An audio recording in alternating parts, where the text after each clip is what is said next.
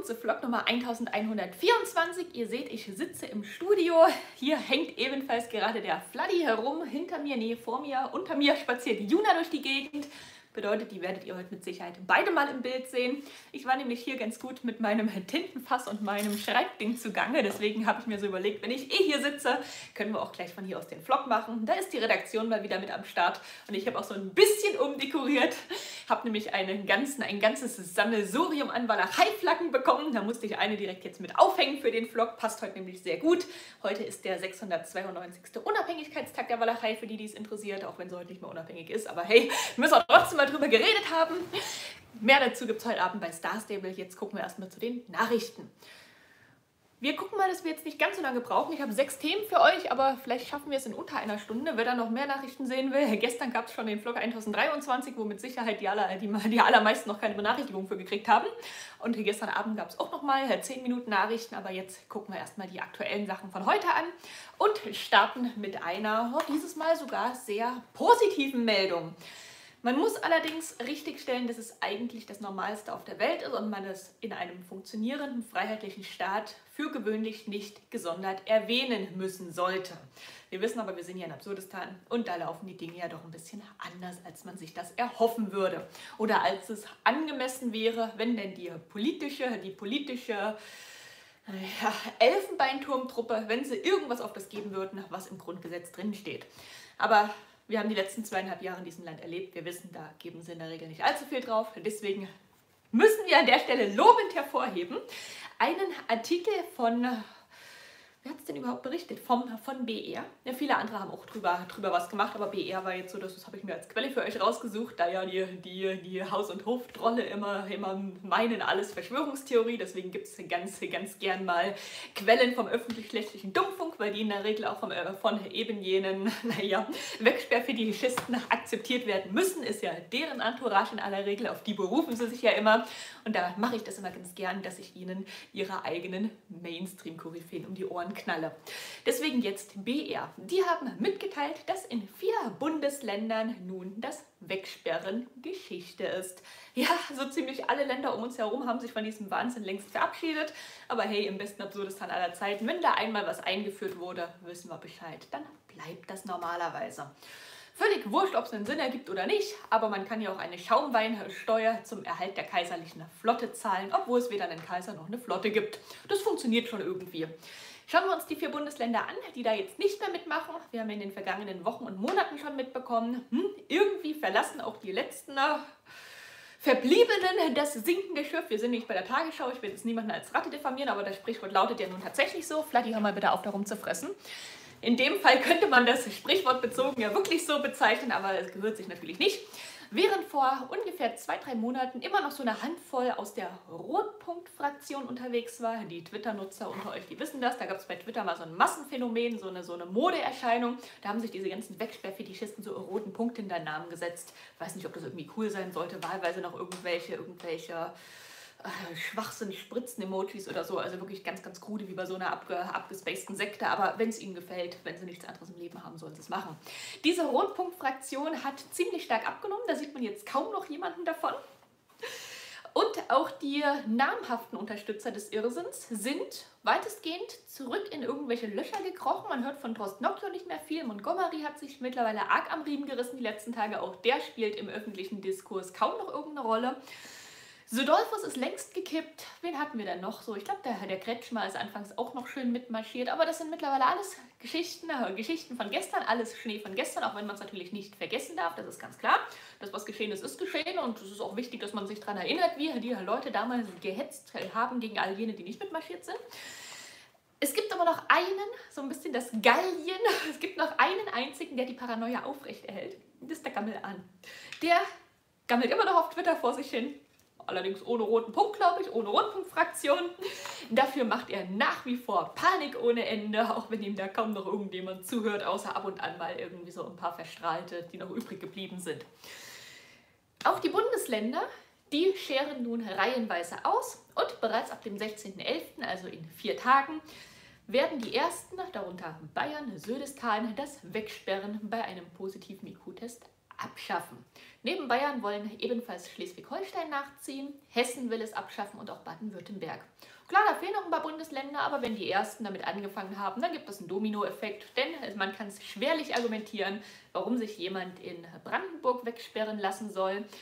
In Schleswig-Holstein ist aber nicht notwendig ist. Das ist einfach Ballaballa, das ist ganz klar, die Leute sind ja nicht blöd. Heißt also, die anderen, die anderen Bundesländer werden zwangsläufig nachziehen. Ansonsten zerlegt sich der Irrsinn nämlich selbst. Warten wir mal ab, wie lange es dauert, bis unser Captain Gammelinchen irgendwann mal Ruhe gibt. Denn klar, der tobt, der geifert natürlich, der kommt damit überhaupt nicht klar.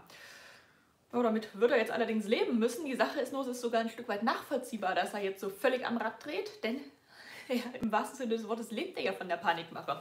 Wenn die Paranoia wegbricht, wenn man niemanden hinterm Ofen mehr vorlockt mit irgendwelchen, Be mit irgendwelchen Bekundungen, wie schlimm doch angeblich alles ist, naja, dann hat er de facto keine politische, politische Daseinsberechtigung mehr. Der macht ja seit zweieinhalb Jahren nichts anderes. Der propagiert ja nur, wie schlimm alles ist und wir sind ja seit März alle ausgestorben, nicht wahr? Also ich fühle mich relativ gut, ich bin ganz gern ausgestorben, mich stört das jetzt nicht, ich weiß nicht, wie es euch geht. Aber das war doch das, was uns letzten Winter erzählt wurde. Bis März sind alle oder verstorben. Ja, also ich habe weder was konsumiert, noch habe ich irgendwie Zombie gehabt. Das Einzige, was ich hatte, war letztes Jahr, muss November rum gewesen sein, Mandelentzündung. Das wisst ihr ja, war unschön, aber es war jetzt nicht Zombie. Das heißt also, laut Gammel an bin ich seit März verstorben. Und ihr sicherlich auch, oder viele von euch. Und ich weiß an der Stelle natürlich nicht, wie es euch geht, aber ich komme mit diesem Zustand doch ausgezeichnet klar. Ich finde das jetzt sehr, sehr angenehm. Naja, kleiner Scherz an der Stelle. Wir haben allesamt mitbekommen, was da für ein Irrsinn erzählt wurde, was uns da für ein Schwachsinn eingeredet wurde, bloß damit sich die, die Panik weiter am Leben hält. Wenn die Panik jetzt weg ist, dann steht der Gammler nackt da. Dann ist der Kaiser, der ist ja sowieso schon nackt, also jetzt bitte nur im übertragenen Sinne dann steht er komplett nackig da, weil jeder sieht, dass da nicht allzu viele Kompetenzen vorhanden sind. Es ist nämlich das eine, von Fernsehstudio zu Fernsehstudio zu tingeln und immer nur Drama, Drama, Drama zu schreien und das andere tatsächlich ein Gesundheitsministerium konstruktiv zu leiten. Und genau das kriegt er offenbar nicht hin, das haben wir mitbekommen, da gibt es ja massive Kritik aus den eigenen Reihen. Da scheint es komplett drunter und drüber zu gehen und die Mitarbeiter sind wohl alles andere als erfreut. Auch in der eigenen Partei, in der SPD, wird der Rückhalt immer geringer. Heißt, klar klammert sich Gammelinchen an jeden Strohhalm, den er irgendwo noch findet. Aber retten wird es ihn nicht. Die Paranoia, die ist durch. Die ist durch bis auf China, aber die sind ja sowieso ein Sonderfall. Die stehen ja auf die Unterdrückung der Bevölkerung und denen ist da jede Begründung für recht. In Absurdistan hat man mittlerweile lernen müssen, dass es irgendwann auch mal wieder genug ist. Allzu lange oder dauerhaft lässt sich das auch keiner gefallen. Das führt uns auch gleich zur nächsten Meldung. Die hat der WDR für uns und die ist an sich tatsächlich sehr positiv. Es haben nämlich gestern zum Karnevalsbeginn 50.000 Menschen weitestgehend friedlich, ja, es gab ein paar Messerstechereien, aber gut, das ist halt Nordrhein-Westfalen. Das kennen wir ja gar nicht mehr anders. Dort haben 50.000 Menschen nun gestern weitestgehend friedlich den Karnevalsbeginn gefeiert. Ob ihr jetzt Karnevalsfans seid oder nicht, das ist natürlich euch überlassen. Aber daran sieht man, dass offenbar ein nicht nicht ganz unerhebliches Interesse daran besteht, gemeinsam sozialen Kontakten zu frönen und draußen eine schöne Zeit zu verbringen. Oder auch drinnen, es kommt natürlich aufs Wetter an. Normalerweise ist es wohl so, dass beim Karnevalsauftakt etwa 30.000 Leute da sind, schreibt zumindest der Westdeutsche Rundfunk. Die sitzen in der Stadt, die sollten das zumindest in, dem, in, so, einer, in so einer unpolitischen Thematik hinbekommen, da irgendwie, da irgendwie was Seriöses rauszugeben.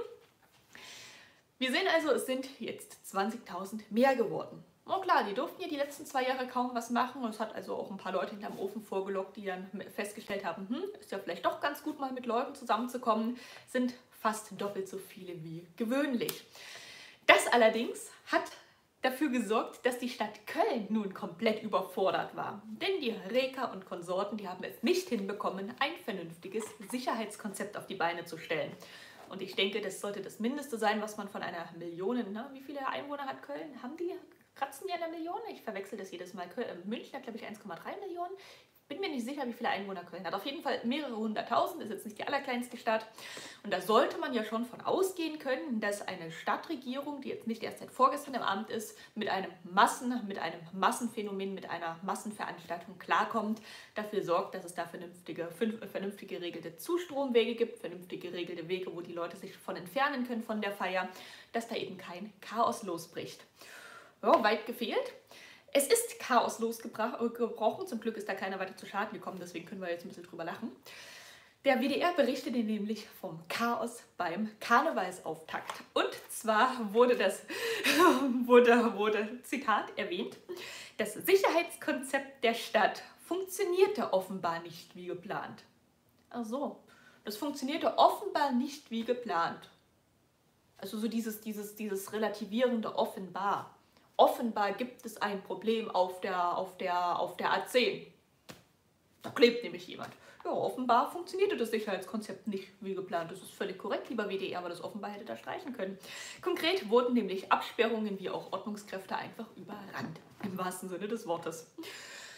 Man hat teilweise sogar Züge gestoppt. Bis Freitagabend sind keine Bahnen mehr gefahren in, in, auf, gewissen, auf gewissen Strecken. Die Zugänge zum sogenannten Studentenviertel. Ich kenne mich in Köln nicht gut aus. Ich weiß jetzt nicht genau, wo das geografisch zu, zu finden ist. Auf jeden Fall wurden die Zugänge zum Studentenviertel wohl versucht, dann irgendwann abzuriegeln, weil es einfach aus allen Nähten geplatzt ist.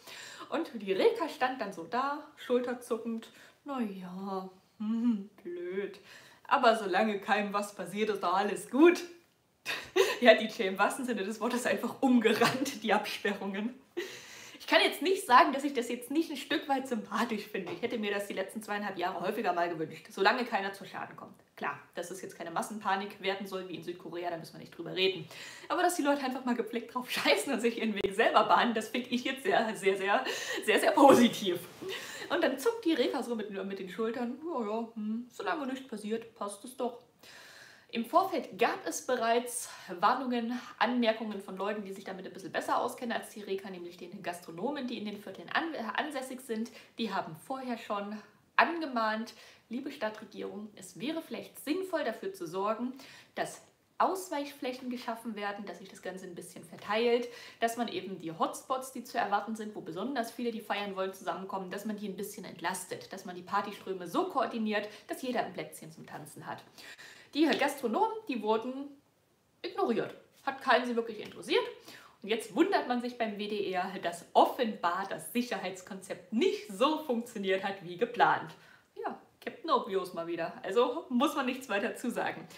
Es gab im Vorfeld massenhaft Kritik, man hat mitgeteilt, das kann so nichts werden und dann kamen auch noch 20.000 Leute mehr als ursprünglich vorhergesehen.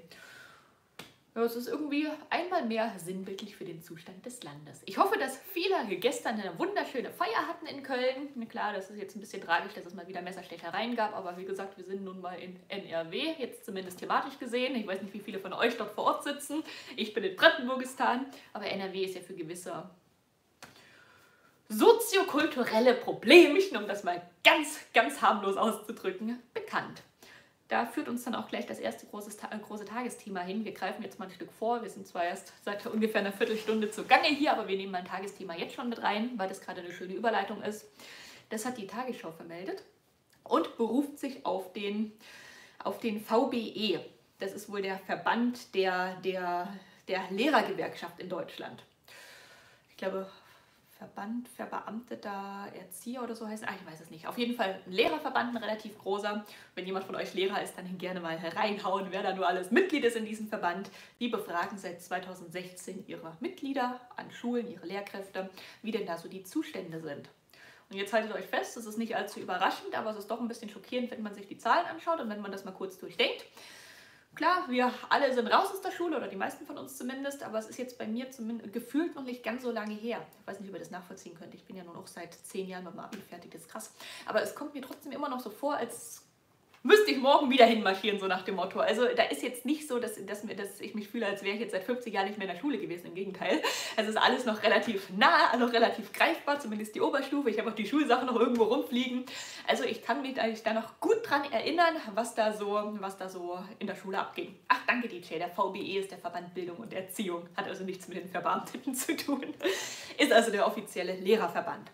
Und man hat ja früher auch mal so ein paar Sachen mitbekommen, wie so die klassische Stimmung an der Schule war. Nun habe ich da eine relativ privilegierte Situation gehabt. Unsere Schule war die, die den besten Ruf hatte in der Stadt. Wir hatten eigentlich keine Drogenproblematiken, kein gar nichts.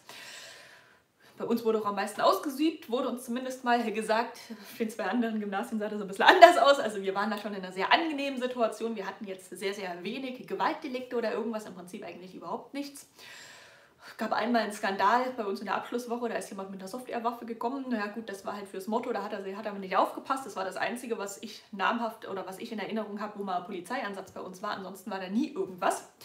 Was andere Schulen eben, naja, die schreiben da andere Geschichten, was sowas angeht. Und deswegen hat es mich doch ganz schön schockiert. Es war keine katholische äh, Schule. Jetzt nicht solche, nicht solche Gerüchte. Ich war auf keinem katholischen Mädcheninternat, war ein ganz, ganz normales Gymnasium.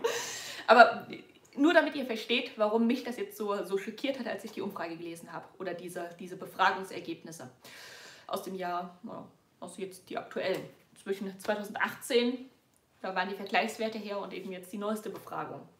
Und ich kann mich, wie gesagt, gar nicht daran erinnern, dass wir irgendwie große nennenswerte Probleme mit Mobbing hatten, mit irgendwelchen körperlichen Gewaltdelikten gleich gar nicht. Und naja, alles, was da sonst noch so drum, drum schwirrt, irgendwelche Nötigungen oder so, das gab es bei uns auch nicht. Zumindest habe ich es damals nicht von mitbekommen. Ja, ich bin 2012 fertig geworden, ich weiß nicht, wie es heute aussieht, aber es sind verschissene zehn Jahre. Das ist jetzt keine Weltreise. Es ist jetzt nicht so, dass ich in die TARDIS gestiegen bin und tausend Jahre in die Zukunft geflogen bin. Aber manchmal mache ich das auch. Nee, gucken wir uns mal die Umfrageergebnisse an. Es ging konkret um Gewalt gegen Lehrer. Und zwar wurden abgefragt Themenfelder wie Beleidigung, Mobbing, Angriffe körperlicher Art, aber auch so Sachen wie Bedrohungen oder Nötigungen. Und jetzt muss ich gucken, dass ich die richtigen Zahlen für euch finde. Ganz besonders herausgestochen hat Nordrhein-Westfalen, deswegen auch der Übergang. Ja, das wundert jetzt keinen. Böse Zungen würden sagen, das Kalifat NRW.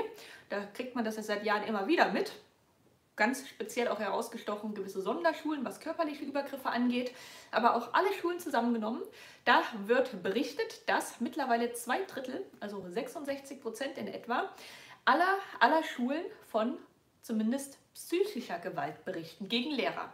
Befragt wurden 1300 Lehrer, ja, das ist jetzt sicher nicht, wir haben ein paar mehr Lehrer in Deutschland, ist jetzt bestimmt nicht die, die Gesamtanzahl der Lehrer, aber die suchen sich eben von jeder Schule ein paar raus, die dann, die dann da befragt werden. Vladi, was machst denn du? 66 Prozent haben ein oder mehrmal psychische Gewalt an ihrer Schule erlebt. Nicht die Schüler, sondern die Lehrkräfte. Im Jahr 2018 waren es nur 48 Prozent. Zwei Drittel der befragten Lehrer wird konfrontiert mit Beleidigungen, Bedrohungen, Nötigungen. Das ist heftig. Gab es bei uns überhaupt nicht. Ist mir kein einziger Fall bekannt. Schon krass. Aber es wird nicht wirklich besser, denn ein Drittel davon ist unabhängig der Schule auch noch Cybermobbing ausgesetzt. Also die werden auch noch im Privatleben virtuell diffamiert und diskreditiert und verfolgt von den eigenen Schülern oder teilweise sogar den Eltern. Da habe ich auch ein bisschen komisch geguckt, denn die Gewalt geht wohl in den meisten Fällen von Schülern und Eltern aus. Was sind das für Eltern? Also da fehlen einem doch auch irgendwo die Worte. Und ein Drittel der Befragten hat von körperlicher Gewalt berichtet.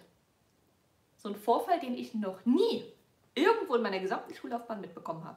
Ein Drittel der befragten Lehrer, also 1300 durch 3 könnt ihr ausrechnen, berichtet von körperlichen Angriffen, die ihnen im normalen Schulalltag dementsprechend entgegenschlagen.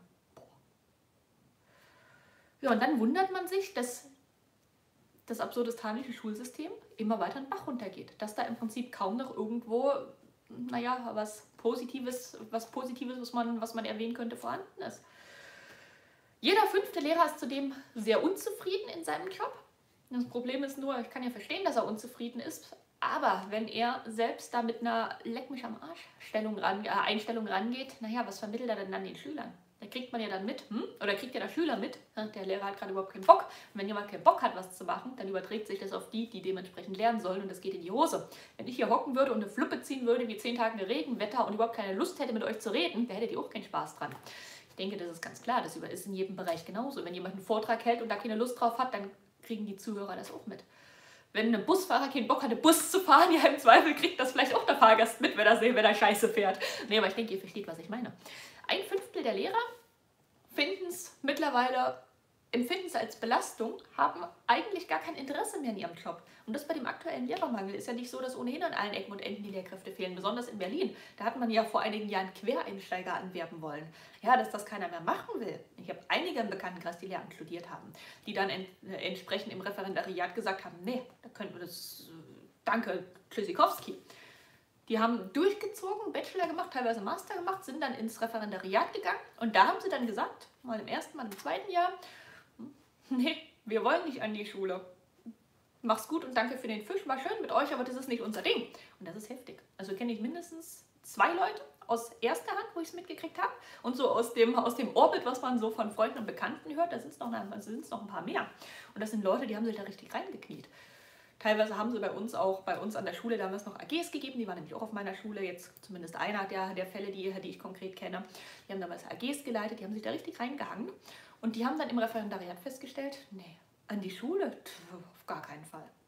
Und das ist kein sonderlich gutes Aus Aushängeschild fürs Schulsystem. Und besonders aus Berlin höre ich das ziemlich oft ja, wenn man mitkriegt, dass ein Fünftel derer, die noch da sind, am liebsten auch das Handtuch werfen würden, ja, dann braucht man sich auch ein Stück weit nicht wundern, dass viele Schüler an vielen, äh, an vielen Stellen gar keinen Bock mehr auf Schule haben. Klar, jeder hat mal keine Lust auf Schule und jeder wird lieber morgens ausschlafen und Mathematik-Doppelstunde ist jetzt auch nicht ganz so geil. Aber irgendwo ist es doch meistens zumindest so gewesen, dass man eigentlich ja doch ganz gern hingegangen ist. Jetzt nicht unbedingt so, dass man nichts Besseres zu tun gehabt hätte, dass man nicht sich auch anders die Zeit hätte vertreiben können. Aber bei mir zumindest, ich weiß, kann jetzt nur von mir reden, ich weiß nicht, wie es bei euch aussieht, bei mir war das nie irgendwie eine Qual, zur Schule zu gehen. Und das lag eben auch daran, dass es Spaß gemacht hat. Wir hatten einen wundervollen Geschichtsunterricht, das war super. Wir haben unsere politische Minute gehabt, wo wir über Nachrichten geredet haben. Also das, was ich jetzt eine Stunde mache, haben wir damals in fünf Minuten. Na gut, ein bisschen länger haben wir auch schon gequatscht. Wir haben diskutiert im Unterricht, wir hatten wunderschöne, wir hatten wunderschöne Aktivitäten, AGs, die wir machen konnten. Und es hat irgendwie trotzdem Spaß gemacht. Auch wenn man morgens um sieben gekotzt hat, dass man los musste. Oder wenn man gekotzt hat, dass man zwei Stunden Physik oder so einen Scheiß hatte. Irgendwie war es trotzdem macht schon Spaß irgendwo. Vielleicht nicht immer der Unterricht, aber so das gesamte Umfeld. Aber das wäre anders gewesen, wenn die Lehrer da keinen Bock drauf gehabt hätten. Dann merken eben die Schüler, ja, der Lehrer hat keinen Bock auf uns, warum sollen wir denn dann? Und das ist das Schlimmste, was man machen kann. Also entweder man macht was, weil man es gerne macht, oder man lässt es bleiben. Gut, an der Stelle, wer jetzt seit Jahrzehnten Lehrer ist und diesen, diese, diese Rückentwicklung im, im, im, im Niveau, na gut, Rückentwicklung ist es ja nicht, dieses immer stärker sinkende Niveau erlebt, sieht, was da abgeht, dass teilweise da die Eltern gewalttätig werden und so, ja, da kann ich das nachvollziehen, dass die keinen Bock mehr haben. Aber das wird eben nicht dazu beitragen, dass es wieder besser wird. Und das ist sehr, sehr schade, wenn auch absolut verständlich. Und neue Lehrer wird man so schnell wahrscheinlich auch nicht finden. Viele, die Lehramt studieren, die entscheiden sich dann kurz vor der Angst nochmal um und sagen, nee, machen wir jetzt doch irgendwas anderes, gehen in die Erwachsenenbildung oder so. Das geht ja dann auch, das ist ja meistens ein bisschen angenehmer. Und es gibt noch ein weiteres Problem, das nennt sich Dunkelziffer, denn wir haben jetzt hier die 1300 Befragten. Wie es aber konkret aussieht, wenn man die 10.000 Lehrer mal zusammennimmt, das weiß gar keiner so richtig, denn die Meldevorgänge für eben jene Gewaltvorfälle, die sind gar nicht so einfach. 57 Prozent der Schulen haben beklagt, dass der bürokratische Aufwand, um irgendwelche Gewaltdelikte, irgendwelche naja, Vorfälle zu dokumentieren, dass der viel zu, viel zu hoch ist, dass es viel zu kompliziert ist. Man kann also davon ausgehen, dass viele dieser Vorfälle vielleicht sogar noch unter den Teppich gekehrt werden, so nach dem Motto, wir haben jetzt gerade nicht die Kapazität, die zeitliche Verfügbarkeit, da dementsprechend diese ganze, diese ganze, ja, diesen Meldeweg zu bestreiten, zu bestreiten. So. Wir lassen das jetzt runterfallen, weil wir uns da jetzt nicht ewig lange dran setzen können, um das zu dokumentieren. Weil die meisten Lehrer eben noch andere Sachen zu tun haben und die Schulleitungen in der Regel auch. Bedeutet, ein großer Teil davon wird vielleicht überhaupt nicht vermerkt. Ein großer Teil fällt vielleicht einfach hinten über, weil man sich dann doch denkt, naja, ist ja jetzt nichts weiter passiert. War zwar unschön, aber meine Güte sorgt auch nicht dafür, dass die Probleme gelöst werden, sorgt eher dafür, dass sie, dass sie ein Stück weit vielleicht sogar noch verkannt werden, weil sie gar nicht erst irgendwo dokumentiert werden. Aber es ist genau wie in vielen anderen Bereichen, wenn die Bürokratie überhand nimmt und äh, Stichwort Nebenwirkungen. Wir wissen ja, was das für ein Aufwand ist, wenn ein Arzt eine Nebenwirkungen dokumentieren soll. Wie war da? Sitzt er eine Dreiviertelstunde dran und bezahlt kriegt das in der Regel nicht? Ja, da muss man, muss man sich auch nicht wundern, wenn die Nebenwirkungen nicht erfasst werden. Und genauso scheint es in Schulen zumindest in Teilen auch auszusehen. Dann gucken, ob ich noch andere wichtige, noch andere wichtige, wichtige Zahlen für euch habe. Da vielleicht noch die, dass 46 Prozent der Schulen in NRW Gewalt vermeldet haben. Das ist krass, also fast die Hälfte aller befragten Schulen aus NRW hat Gewalttaten vermeldet. Und das sind konkret Vorfälle, äh, vielleicht noch Vergleichszahl von 2018, da waren es 35 Prozent, also 11 Prozent Zuwachs in vier Jahren. Tut weh, also ist wirklich heftig. 11% mehr Gewaltvorfälle in Schulen in NRW binnen vier Jahren. Was hat sich in den letzten vier Jahren geändert? Verschwörungstheorie. Darf man nicht drüber reden. Gucken wir uns noch die konkret aufge aufgenommenen Vorfälle an, die habe ich mir nämlich noch herausgeschrieben. Da ging es, ich habe es euch ja eigentlich schon gesagt, da ging es um, um direkte psychische Gewalt wie Beleidigungen, Bedrohungen und Belästigungen, aber eben auch Cybermobbing und körperliche Angriffe. Ja, all das, was an Schulen für gewöhnlich keinen Platz haben sollte. Immer wieder rühmen sich irgendwelche Politiker, irgendwelche Bürgermeister, die dann mal vorbeifahren in irgendwelchen Schulen damit, dass sie ja gegen Mobbing-Initiativen haben. Ja, wenn sogar den Lehrern gegenüber Mobbing und körperliche Gewalt zuteil wird, dann muss sich doch keiner wundern, wenn sich die Schüler gegen, äh, untereinander zerlegen. Und dann wundert es mich auch nicht, dass viele, viele jüngere, jüngere Reisegruppenmitglieder, wir haben ja auch ein paar auf Discord, dass die regelmäßig von massiven Mobbingvorfällen berichten. Ich habe mich immer gefragt, wie kann denn das sein, dass die Lehrer dazugucken? Sowas hätte es bei uns nicht gegeben. Klar, man mobbt sich mal so ein bisschen, man ärgert sich. Man, es sind halt Kinder, das ist völlig normal. Ist nicht unbedingt nett, Kinder können grausam sein, das wissen wir, aber so ein bisschen hin und her, das gehört ja dazu. Aber das, was ich teilweise mitbekommen habe von jungen Leuten, die aktuell in der Schule sind, siebte, achte, neunte Klasse, das ist heftig. Und da habe ich mich wirklich gefragt, wie kann das sein, dass die Lehrer zugucken? Naja, wenn 46 Prozent der Schulen in NRW Gewalt gegen Lehrer vermelden, dann haben wir einfach andere Probleme, als sich damit zu beschäftigen, was gerade bei den Kindern los ist. Das können sie einfach gar nicht. Und auch das trägt nicht unbedingt dazu bei, dass man gerne in die Schule geht, dass man gerne lernt und dass man am Ende mit einem guten Abschlusszeugnis rausgeht. Aber kommen wir weiter zur nächsten Meldung. Wir wollen ja nicht nur so, nicht, nicht nur so negative Sachen besprechen. Ja, gut, wird nicht wirklich besser, als hätte ich euch fast irgendwie was Positives angekündigt. Haben wir aber nicht. Wir gucken mal zur Welt, das nur so als kleine, als kleine Randbemerkung, ob das was mit dem, Zustand an, mit dem Zustand an Schulen zu tun hat. Das überlasse ich jetzt absolut euch. Aber die Weltzeitung hat berichtet, dass die Bundespolizei im Jahr 2021 63 Prozent mehr illegale Einreisen vermerkt hat. Auch hier die Dunkelziffer ist deutlich höher, denn das, was die Bundespolizei macht, sind in der Regel Stichproben. Ihr wisst, offene Grenzen in Absurdistan kann jeder rein und raus, wie er gerade Bock drauf hat. Wenn da mal jemand hops genommen wird, ist das eher Zufall. Wir sind ja nun mehrfach, also wirklich alle zusammen über sämtliche mögliche Grenzen gefahren. Wir sind ja noch nie kontrolliert worden. Und wenn wir nicht kontrolliert wurden, ja, die vor uns und die nach uns auch nicht. Also wir wus wusste ja keiner, wer da hin und her fährt. Die Wahrscheinlichkeit, dass man jemanden, der illegal einreist, tatsächlich dann auch erkennt an irgendeiner Grenze, die ist wahnsinnig gering. Und trotzdem ist die Zahl der registrierten illegalen Einreisen um 63 Prozent gestiegen, nämlich auf etwa 57.000 Fälle. Das klingt relativ banal, 57.000, ja mein Gott. Aber das sind nur die, die diese auch zur Kenntnis genommen haben. Hm. Blöd. Was macht man da jetzt politisch damit?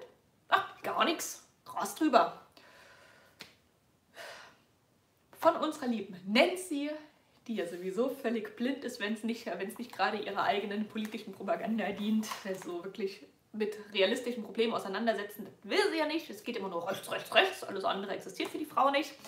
Ja gut, wenn man sonst keine Hobbys hat, bitte sehr. Aber dass da mal eine Aussage käme von der Innenministerin,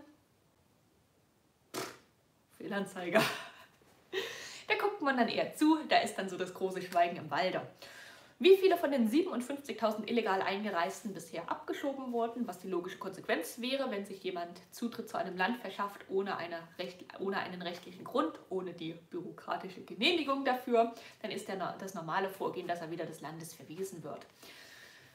Und bei, beim Thema 57.000 illegale Einreisen, da wissen wir ganz genau, das sind alles keine Europäer, weil europäische Freizügigkeit, man kann nicht illegal in ein anderes europäisches Land einreisen, zumindest nicht einfach so, wenn man ein unbescholtener normaler Bürger ist. Wenn man nicht gerade nicht ausreisen darf wegen irgendwelchen Gewaltdelikten oder so, kommt ja mal vor, mit so laufende Gerichtsprozesse, dass der Straftäter seine Stadt nicht verlassen darf. Aber das ist ja für 99,9 Periode Prozent der Bevölkerung völlig irrelevant.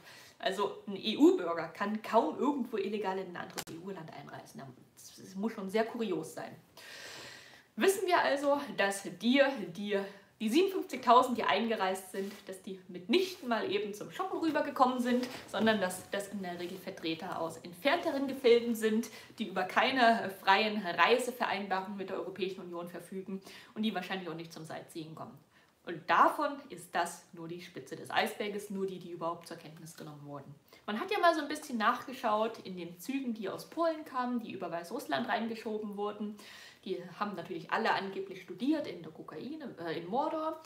Ja, die ganzen afrikanischen Studenten, die in Mordor studiert haben, in Kiew und sowas, aber kein Wort Ukrainisch konnten und kein Wort Englisch konnten, ja, wie wollen sie, wie wollen sie da, da studiert haben, also abstrus. Da hat man ein paar von rausgezogen. Die hat man ja damals angeblich, wurde zumindest groß medial berichtet, die hat man angeblich wieder, wieder in den nächsten Zug gesetzt und nicht einreisen lassen. Davon hatten sie 11.000 hochgenommen, also nehmen wir von den 57.000 mal 11.000 weg, die über Weißrussland eingereist sind, die man bei den Kontrollen dann auch erwischt hat. Die angeblichen Studenten, naja, wenn ich in einem Land bin und weder die Landessprache spreche noch irgendwie eine international geläufige Sprache, dann würde es mich doch sehr wundern, wenn man da in irgendeiner Uni überleben könnte, also so Schwachsinn selbst wenn man schon Dolmetscher bereitstellt, die dann wirklich jede erdenkliche Universitätssprache durchprobieren, wenn da nichts bei ankommt, dann ist das wohl kein Student, dann ist das wahrscheinlich jemand, der sich irgendwie Studenten, Studenten, wie auch immer sie das damals bewiesen haben wollen, irgendeinen Semesterpass oder einen Studentenausweis gekauft hat oder irgendwas. Ist auf jeden Fall sehr grotesk. 11.000 davon wohl über Weißrussland reingereist, wo die anderen, die anderen äh, über 40.000 herkamen. Das ist jetzt nicht genauer, nicht genauer definiert worden. Die FDP fordert, konsequent abzuschieben. Ja, ihr wisst, das ist ja Nazi, wenn man sowas fordert. Wir sind ja das einzige Land, wo sowas politisch sogar noch verharmlost wird, geduldet wird, abgenickt wird. Nach dem Motto, auf die paar 10.000 kommt es doch auch nicht mehr an. Solange noch ein bisschen Geld der anderen da ist, können wir es uns doch leisten. Dass das auf Dauer so nicht funktionieren wird, brauche ich euch, denke ich, nicht mehr sagen. Aber weiter zur nächsten Meldung. Auch die wird nicht besser. Die hat NTV für uns und da geht es mal wieder um aktualisierte Inflationszahlen. Ja, blödes Thema, richtig blödes Thema. Aber ja, wir machen nachher was Schönes. Wir unterhalten uns ja nachher noch mit Star Stable und haben eine gute Zeit. Da können wir jetzt ein bisschen die negativen Sachen besprechen. Die offizielle Inflation klettert nun auf 10,4 Prozent. Ja, wir wissen alle, dass es Bullshit ist. Muss ich, denke ich, keinem von euch erzählen, dass die 10,4 Prozent sie sich in Jahre schmieren können. Die reale Inflation liegt nämlich deutlich drüber. Das lässt sich besonders gut bei Lebensmitteln erkennen. Das wurde auch noch im Artikel mit aufgeführt. Da beträgt die Inflationshöhe nämlich 20,3 Prozent. Wer jetzt mit dem Fremdwort Inflation nicht so gut umgehen kann, vielleicht haben wir ja ein paar Grünlinge anwesend, Inflation, Kaufkraftverlust, also Geldentwertung. Führt also dazu, dass man deutlich mehr, deutlich mehr bezahlen muss also für mehr Geld weniger, fürs gleiche Geld weniger bekommt und das gleiche an Produkten für mehr Geld bekommt. Aber ich denke, das sollte eigentlich logisch sein, wobei in der Schule lernt man sowas vielleicht wirklich nicht mehr. 10,4% offizielle äh, Inflationsquote, 20,3% im Lebensmittelsektor und im Energiebereich, da müssen wir glaube ich gar nicht drüber reden, das dürfte klar sein. An der Spitze liegt das Erdgas mit 109,8%, 109,8% Verteuerung. Heilige Scheiße. Für Erdgas. Energie generell ist bei 55%. Also alles zusammengenommen. Fernwärme immerhin bei 35,6%, aber 109% beim Erdgas. Boah. Und das alles nur, wenn man das günstige Gas aus dem Osten nicht will politisch nicht will. Ist nicht so, dass es nicht da wäre. Ist ja keine echte Notlage. Es ist einfach eine ideologische äh, Notlage, will ich es nicht nennen, aber ihr versteht, glaube ich, was ich meine. Man könnte von heute auf morgen sagen, geht nicht, wir brauchen günstiges Gas. Es ist irrsinnig, das gleiche Gas, was wir nicht wollen, nach Indien verkaufen zu lassen, von Indien nach Kanada verkaufen zu lassen, von Kanada zu uns zu verkaufen, lassen, äh, verkaufen zu lassen. Ja, dann zahlen wir nicht nur das Gas, dann zahlen wir auch den Transport von Kanada, wir zahlen den Einkaufspreis von Kanada mit oben drauf, wir zahlen den Einkaufspreis der Inder mit drauf, das wird ja alles, wird ja alles dementsprechend mit verrechnet. Also die, die Kosten steigen ja exorbitant und kriegen am Ende das Gleiche, was wir auch direkt hätten kaufen können. Aber das dürfen wir nicht direkt kaufen, weil wir wollen ja einen Heirater nicht finanzieren, nicht wahr? Achso, und wenn die Inder den Heirater bezahlen, dann ist es aber völlig okay. Also das gleiche Geld, was aus Indien kommt, das unterstützt den Heirater nicht. Aber wenn wir den Heirater direkt bezahlen würden, dann Ergibt absolut Sinn, liebe Grünlinge. Naja, 109-prozentige Teuerung. Boah.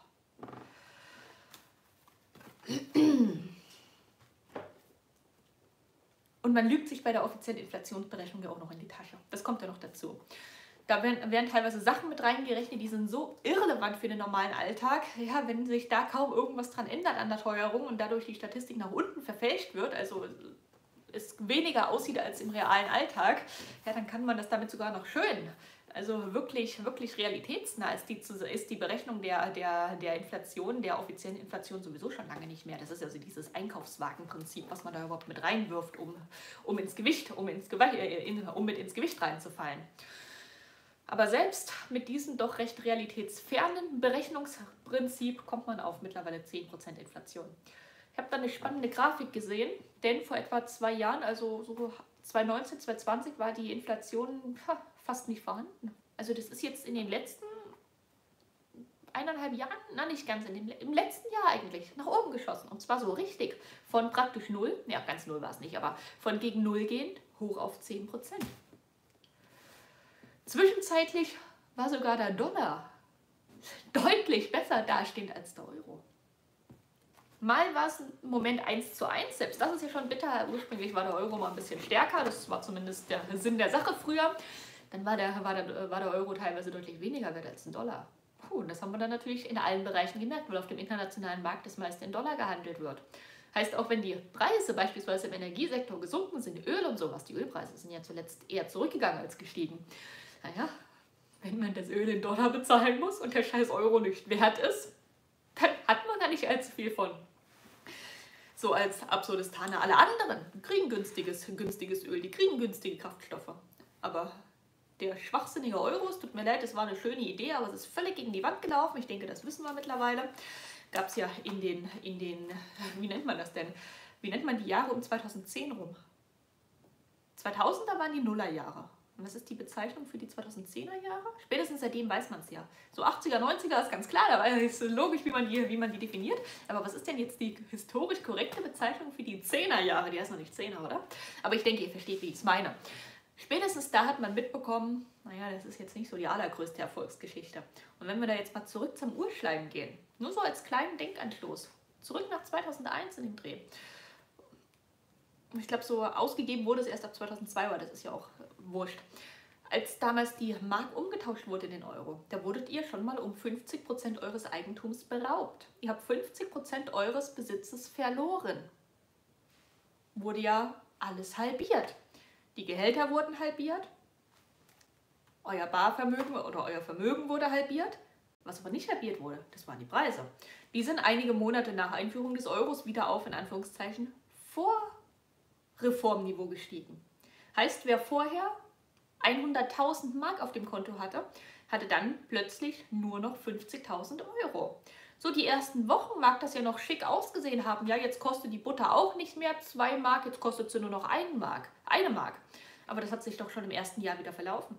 Heißt, auf einen Schlag wurden die Menschen um 50 Prozent ihres Eigentums mit dieser Währungsreform enteignet, beraubt, um, äh, um ihr Eigentum gebracht und mit der jetzigen Inflation könnt ihr euch ja selber ausrechnen, in Kombination, wie viel euch in den vergangenen gerade mal 20 Jahren an eurem Besitz abgeknüpft wurde. Und zwar völlig kalt, so dass ihr es noch nicht mal richtig mitgekriegt habt, weil Salamitaktik. Ist heftig. Also es ist wirklich heftig, das ist jetzt nicht zynisch oder, oder sarkastisch gemeint. 50% auf einen Schlag weg. Wurde damals noch beklatscht, wäre ja so toll der Euro. Ah, jetzt haben wir eine offizielle Inflation von 10%. Tendenz steigend. Und der Euro stinkt auch noch gegen den, gegen den Dollar ab. Ja, das ist wie gesagt eine richtige Erfolgsgeschichte.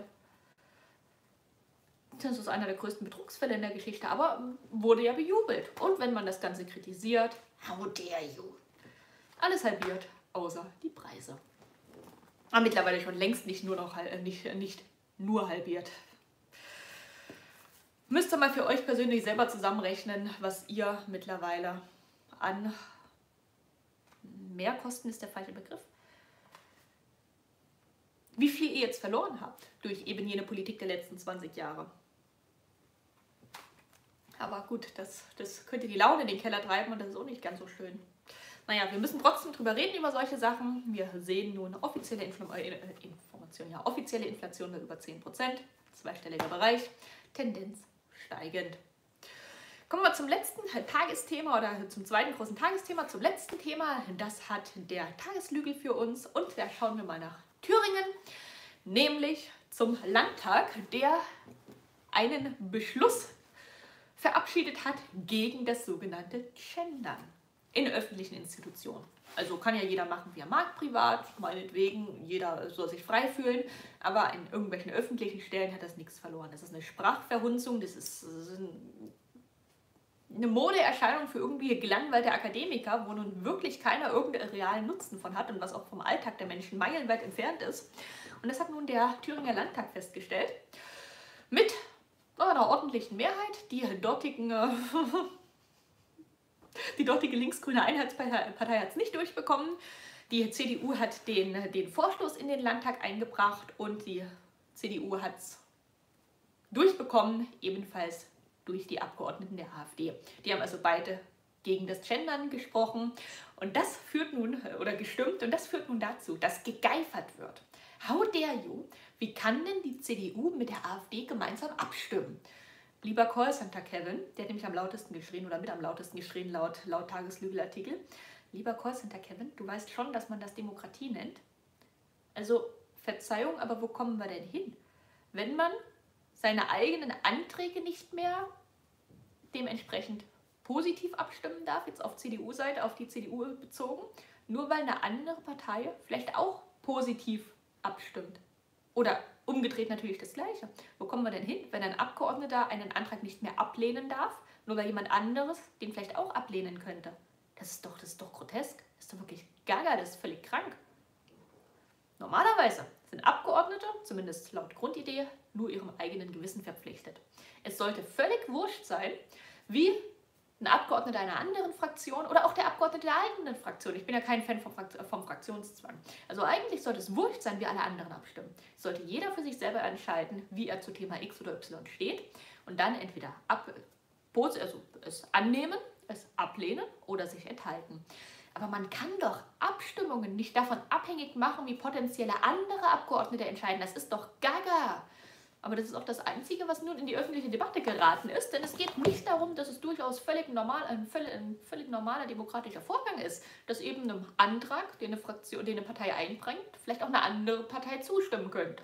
Also ganz normaler demokratischer Grundbaustein. Das ist nichts, wo man irgendwo irgendwas gibt zum, zum sich drüber ereifern, lieber Callboy. Aber es ist ja, das ist das Einzige, was es in die Medien geschafft hat. How dare you? Die Brandmauer, der März muss was machen. Es kann nicht sein, dass die CDU Thüringen genauso abstimmt wie die AfD Thüringen. Also wenn ich mich richtig erinnere, als ich das letzte Mal nachgeschaut habe, war in der, in der aktuellsten Umfrage meines Wissens nach die AfD die stärkste Kraft. Und das nicht ohne Grund. Könnte vielleicht genau wegen so einem Irrsinn sich ergeben haben, was ich jetzt nicht schlimm finde, muss ich dazu sagen. Ihr wisst ja. Aber es geht jetzt nicht um meine, politische, meine politischen Präferenzen, es geht ja eher so ein bisschen um eine rationale Herleitung. Vielleicht haben die Thüringer einfach keinen Bock mehr auf sowas, so einen Irrsinn, den der Kurs hinter Kevin rauskotzt. Vielleicht haben die Thüringer keinen Bock auf irgendeinen Gender, Schwachsinn und 93.000 Scheißhäuser. Vielleicht haben sie keinen Bock, sich beleidigen zu lassen, wenn sie nicht so abstimmen, wie es der SPD gerade in den Kram passt. Vielleicht haben sie keinen Bock, im Kalten zu sitzen und zu frieren. Vielleicht kommt das nicht unbedingt von ungefähr, dass die AfD die stärkste Kraft in Thüringen ist. Und sich hinzustellen und, und eine antidemokratische Gesinnung raushängen zu lassen, die, man, die, sonder, die seinesgleichen sucht. Von wegen, ihr dürft den Antrag nicht einbringen, weil die anderen sonst zustimmen könnten. Ja, das muss man auch erstmal, also den Mut muss man erstmal haben. Stellt euch mal vor, das hätte ein böser, böser AfD-Politiker gemacht. Der hätte gesagt, Grüne, ihr dürft dem Antrag nicht zustimmen, weil die Linken da, da auch zugestimmt haben. Da würde doch jeder fragen, also sagen, du hast doch einen am Sträußchen, Kollege. Das ist halt so, das ist Demokratie. Kann jeder abstimmen, wie er es für sich selbst am, am, am sinnvollsten erachtet. Ja, in Thüringen offensichtlich nicht. Ja, unsere Vorzeigedemokraten sind in der Regel die undemokratischsten von allen. Und das Spielchen haben wir ja jedes Mal aufs Neue. Das ist ja andauernd. Wenn irgendjemand einen Antrag einbringt, der eine Mehrheit findet und da auch nur ein böser AfD-Politiker dafür gestimmt hat, dann wird ja sofort gehetzt, diese Zusammenarbeit, die geht nicht. Ja, das nennt sich normaler Parlamentsbetrieb. Aber da sehen wir einmal mehr, es geht eben jenen politischen Kreisen der linksgrünen Einheitsfront in der Regel nicht um Sachpolitik, nicht um irgendwelche themenspezifischen Erwägungen. Da geht es nicht um irgendwas, was sinnvoll oder nicht sinnvoll ist, was gut oder oder weniger gut für die Bevölkerung wäre. Nee, da geht es nur noch darum, ihr dürft nicht so abstimmen wie die. Und wenn die so abstimmen, dann muss der Antrag abgelehnt werden. Das ist gaga. Das ist wirklich gaga. So funktioniert ein normaler Parlamentsbetrieb in aller Regel nicht. Führt auch zu, einem verstärkten, äh, zu einer verstärkten Politikverdrossenheit der Bevölkerung, weil die sich auch verarscht bei vorkommen. Und das ist der negative, die negative Begleiterscheinung, denn so sollte es eigentlich nicht sein. Dass Anträge ab, äh, angenommen oder abgelehnt werden, je nachdem, wer dafür oder wer dagegen ist, ist gaga. Und Wahlen rückgängig machen, genau, Koax, danke. In Thüringen hat man ja auch die Wahl rückgängig gemacht. Ja, sehr demokratisch. Die Wahl muss rückgängig gemacht werden. So dreist waren sie, glaube ich, nicht mal in der DDR. Ich habe die DDR selber nicht erlebt, ich bin da auch sehr, sehr froh drüber. Aber dass man da ganz offen in den Staatsmedien verkündet hätte, dass eine Wahl rückgängig gemacht werden muss. Ich glaube, das gab es nicht mal dort. Und das will schon was heißen. Aber jetzt kommen wir erstmal zum Ende. Haben wir unsere sechs Themen besprochen. Es ist auch schon wieder 16 Uhr. Um 21 Uhr sehen wir uns dann gleich wieder bei Star Stable. Um oh, 21 Uhr am Moorlandstall. Das Thema vom heutigen Ausritt habe ich euch vorhin schon gesagt. Der 692. Unabhängigkeitstag der Walachei. Heißt also ein bisschen feierlich eingeritten kommen oder in den Farben der Walachei oder einfach kreativ werden, wie ihr eben Lust drauf habt. Und dann machen wir uns einen schönen Abend. Ja, könnte 21.30 Uhr werden. Ihr wisst, ich muss vorher mal noch einkaufen und so. Aber angepeilt ist 21 Uhr. Da sammeln sich ja auch dann immer schon die, die Ersten in Moorland. Sagen wir Pi mal Daumen 21 Uhr. Wir haben jetzt kein Halloween-Event mehr. Das heißt, heute müssen wir uns wieder mit den normal zugänglichen Bereichen, Bereichen begnügen. Das letzte Mal Halloween ist ja nun erstmal durch bis nächstes Jahr. Aber machen wir das Beste draus, bis das Weihnachtsevent stattfindet und schauen wir mal, wie wir in Moorland auch ein bisschen eine schöne Zeit haben können. Ich habe hier noch einen Fladikanten für euch. Ich weiß nicht, ob eine Juna gerade da ist. Ne, die ist hochgegangen. Ich sehe sie zumindest nicht. Die muss irgendwo nach oben spaziert sein. Da hängt der Fladdy, so ein bisschen semi-motiviert, wie so ein Schluck Wasser in der Kurve. Der ist richtig groß geworden. Schaut euch mal diesen, diesen, diesen Klops an. Also ist ein, ein richtig, richtig langer Kater geworden. Und er hat auch ein bisschen zugelegt. Das ist jetzt im Winter nicht das Allerschlechteste. Dem geht es auf jeden Fall gut. Ich denke, das ist ganz offensichtlich. Und ein schönes Winterfell hat er bekommen. Hm, Vladi? Ah, ich lasse euch mal ein Stück weiter in Katzenrichtung schauen. Da seht ihr den, den, äh, den Koloss, das Koloss? Ich glaube den Koloss, den Katerkoloss. Schnurrt übrigens. Das hört ihr jetzt nicht, da seid ihr zu weit weg. Aber es ist doch faszinierend, wie viel der kleine Kater in einem Jahr gewachsen ist.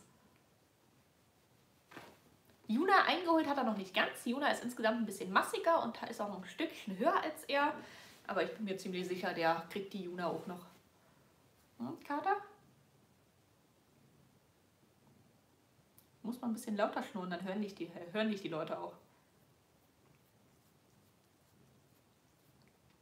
Ja, und ihr seht, es ist immer noch ein, ein Garfield wie aus dem Buch. Also im Prinzip kann man mit dem Kollegen alles machen. Nee, nicht knabbern. Das stört ihn gar nicht. Den kann man umdrehen, den kann man rumtragen, den kann man anheben, den kann man in die Luft werfen. Nicht, dass ich das jetzt machen will, aber der ist tiefenentspannt, der ist so gechillt. Das ist, naja, Juna ist da was anderes. Die ist ja eher so die feine, die feine Dame. Die, oh, die teilt halt auch mit, wenn sie was nicht will. Aber der Fladdy, hm, Kater? So ein Stofftier. Aber ein süßes Stofftier. Gerade hat er am Öhrchen einen kleinen Kratzer, da hat Juna ihn anscheinend erwischt. Oh, es mauzt. Juns? Na komm. Da kommt's getrappelt. Jo, Junska, ja. Komm. Seht ihr sie? Komm, Jansi. Komm hier. Juns, nach dir wurde verlangt. Naja, war ein Kurzbesuch von Juns. Also wirklich Bock hat sie auch nicht. Wo ist er denn? Da ist er. Ja, zumindest habt ihr gesehen, die Juna ist auch am Start und der geht's auch gut. Jetzt aber bis später dann. Mal gucken, ob wir heute um 20 Uhr vor dem Ausritt noch Lachnachrichten haben. Ich habe schon was Lustiges gefunden. Aber vielleicht sammle ich noch bis morgen, dass wir morgen wieder Lachnachrichten zum Anschauen haben. Entscheide ich dann ganz spontan. Jetzt erstmal nicht ärgern lassen. Mal gucken, vielleicht unternehme ich noch einen kleinen Spaziergang. Hätte ich, vielleicht, hätte ich eher vor dem Vlog machen sollen. Ist jetzt doch schon wieder relativ duster. Keine Jewinskaya-freundlichen Uhrzeiten mit, mit der Winterzeit. Einschlafen habe ich nicht geplant. Nee, ich freue mich ja auf den Ausritt heute Abend. Hör mal auf, Vladi. Nicht alles anknabbern. Du hast oben dein, dein Trockenfutter, wenn du kauen willst. Und jetzt Genießt euren restlichen Samstag. Ups, aus